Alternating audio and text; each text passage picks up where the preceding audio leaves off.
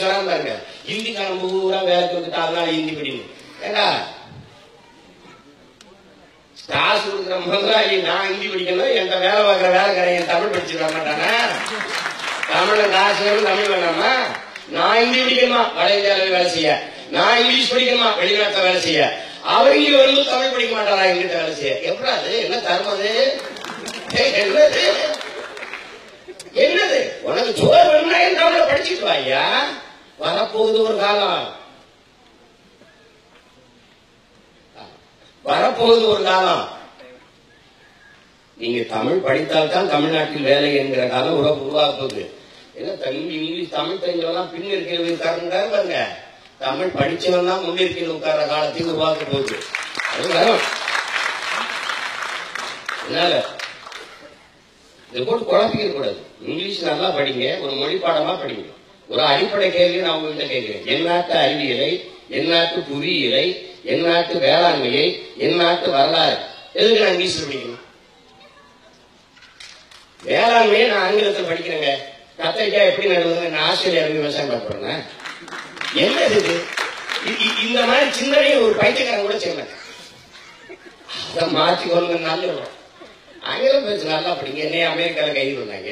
கனடாவில் கைது பண்ணாங்க. உங்களுக்கு தெரியுமா? அமெரிக்காவில் அனுமதி விசா போன பல பேர் வச்சுருங்க சீமானு கொடுக்க மாட்டேன். என்ன நினைக்கிறேன்? சர்வதேச பயங்கரவாதி. நம்ம இன்டர்நேஷனல் டெரரிஸ்ட் தானே. அது போல இந்த இந்த இது இவனுக்கு எப்படா கொடுப்பாங்கன்னு எல்லாம் யோசிச்சிருக்காங்க போன உடனே அந்த அம்மா ஒரு வெள்ளக்கார அம்மா வணக்கம்னு கடவுள் சீட்டை வாங்கி வச்சுட்டு அனுப்பிடுச்சு. ஏன்?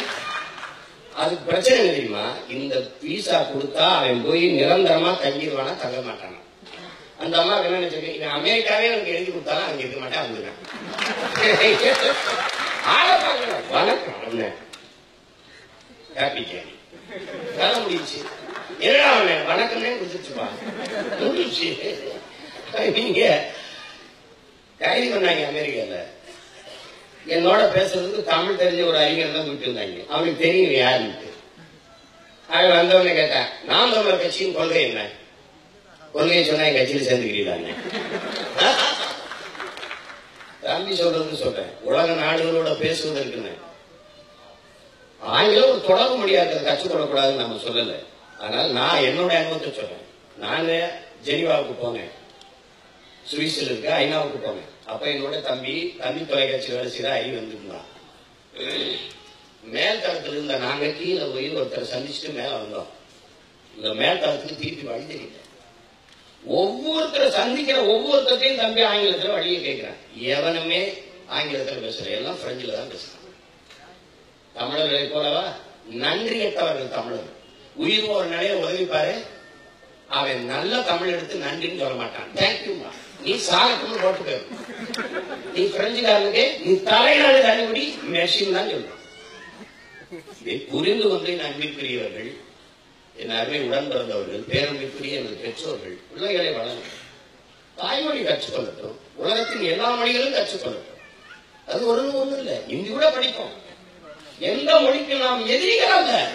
ஆனால் இந்த மொழியை கட்டாயம் படித்தாக வேண்டும் என்று சொல்வதை நாம உயிரை கொடுத்தாலே இருப்போம். அதான் இருக்கிறது.